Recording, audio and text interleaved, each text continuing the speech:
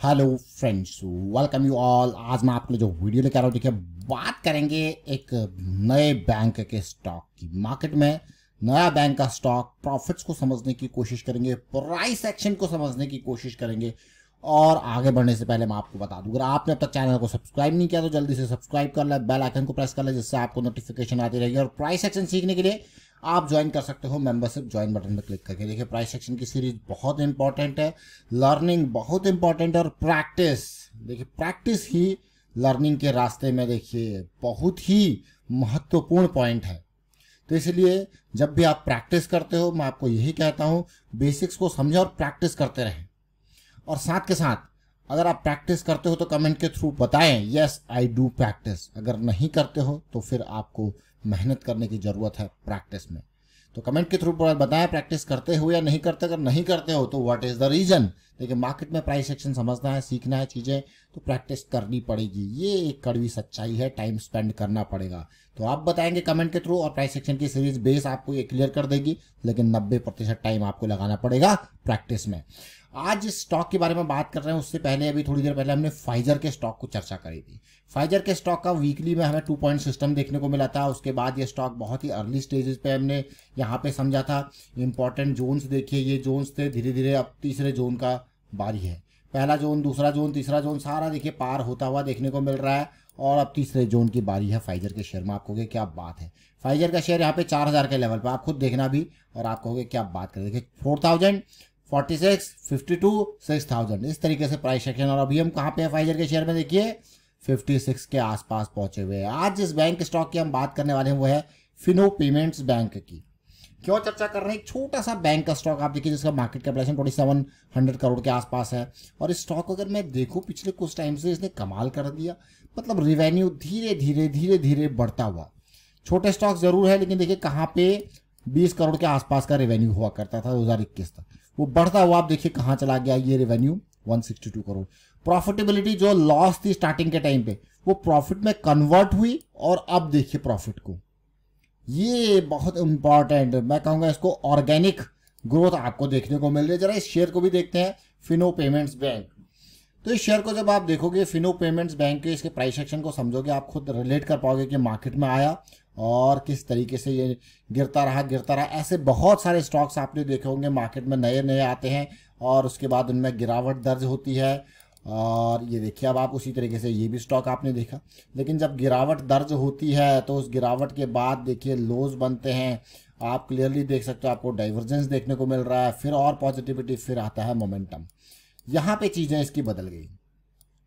ये level momentum का level first level यानी कि ये लेवल हमारे लिए 250 260 का बहुत इंपॉर्टेंट जोन हो जाता है।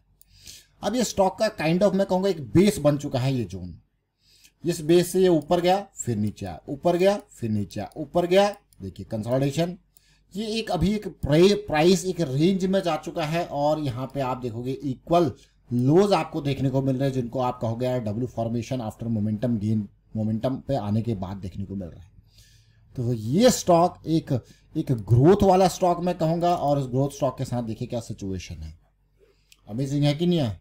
ग्रोथ है प्रॉफिटेबिलिटी दिख रही है आपको और सबसे अच्छी चीज़ जो मुझे यहाँ पे देखी, वो बिल्कुल बॉटम पॉइंट से क्या ज़बरदस्त मूव पकड़ा, ज़बरदस्त मूव पकड़ा, आप देख सकते हो अब आप ये।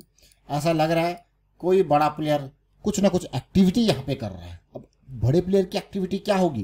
एकुमुलेशन ऐसा तो है नहीं कि प्राइस बिल्कुल आसमान पे है, वहाँ पे प्रॉफिट बुकिंग चल रही होगी तो प्राइस तो बिल्कुल ज़मीनों पे है। तो ज़मीनों पे क्या है? एकुमुलेशन की एक्टिविटी ये वॉल्यूम इस हफ़्ते का अपने आप में कुछ बयां कर रहा है। प्राइस राइज हुआ है with high volume rise high volume आप इसको भी देखोगे वॉल्यूम इनिशियल लेवल पे बना। फिर देखिए, अभी फिर लास्ट हफ़्ते में फिर से वॉल्यूम बना, जो कि काफ़ी इंप्रेसिव है। यानी कि ये स्टॉक के छोटे टाइम फ्रेम को देखेंगे, किस तरीके से सिचुएशन चल रही है। तो काफ़ी गतिविधि, काफ़ी एक्टिविटी यहाँ पे चल रही है। और जैसा हमने कहा कि ये मोमेंटम आया था, बढ़िया मोमेंटम यहाँ पे पकड़ा। और ये लेवल आप देखिए, जून 2023 में एक, पर स्टॉक ने कोई बड़ा मूव नहीं दिया। स्टॉक ने कोई बड़ा मूव नहीं दिया है। थोड़ा सा इंप्रेसिव पॉजिटिविटी ज़रूर है, लेकिन बड़ा मूव नहीं दिया, एक रेंज में है। रेंज में भी, जैसे मैंने आपको कहा 250 का ये जोन हमारे लिए अब एक इंपॉर्टेंट बेस बनता हुआ नज़र आ रहा है। 250 का ये जोन आप देखिए क्लियरली ये जोन क्यों बेस बनता हुआ नज़र आ रहा है? क्योंकि पहले जो हमारे पास इंपॉर्टेंट रेजिस्टेंस जोन था, अब वो हमारे पास इंपॉर्टेंट सपोर्ट जोन का काम कर रहा है। तो कहीं ना कहीं एक पॉजिटिविटी मैं कहूँगा और एक पॉजिटिव साइकिल भी आपको देखने को मिल रही है इस बैंक के शेयर में। अब इस बैंक के शेयर की अगर और डिटेल में बात करें, देखिए, एक बैंक से क्या एक्सपेक्टेशन होती है है ना? भैया आज की डेट में तो हर बैंक का एक आप जो मिनिमम बैलेंस ही देखो प्राइवेट बैंक की अगर बात की जाए तो अच्छा खासा मिनिमम बैलेंस मेंटेन करना पड़ता है। यहाँ पे वो भी नहीं है। यहाँ पे वो मिनिमम बैलेंस मेंटेन करने की भी ज़रूरत नहीं है। सीधे जाके आपने फ़ोन नंबर दिया अकाउंट ओपन किया। यानी कि ये क्या है? फिनोपे अकाउंट आपका ओपन हो जाता है। No minimum balance instant account opening free digital payment using scan and pay तो आपके सामने ये फिनोपे का, ये डिजिटल सेविंग अकाउंट आपको देखने को मिलता है। करंट अकाउंट सेविंग अकाउंट सब कुछ आप इसमें ओपन कर सकते हो। तो कहीं ना कहीं एक डिजिटल इंडिया के तौर पे एक नई, मैं कहूँगा, मुहिम यहाँ पे, और बाकी आप देख ही रहे हो ग्रोथ आपको दिख ही रही है, और एक नज़र फिर से देखते हैं। चार्ट के ऊपर। ये सारी डिटेल्स आपने देखी। तो ये बेसिक्स हैं। हम क्या करते हैं हमेशा? बड़े टाइम फ्रेम के ऊपर रिलाय करते हैं कि हाँ कैसी सिचुएशन बन रही है। और मार्केट में आप देखोगे, जब स्टॉक नया होता है मार्केट में, उसमें गिरावट देखने को मिलती है। फिर एक दोबारा से एक फ्रेश एनर्जी जनरेट करके वहाँ पे एकोमोलेशन देखने को मिलती है। और ऐसी सिचुएशन में फिर जब वो रफ्तार पकड़ता है तो बहुत ही ज़बरदस्त रफ्तार पकड़ता है, ऐसे कई सारे स्टॉक्स में आपने देखा होगा।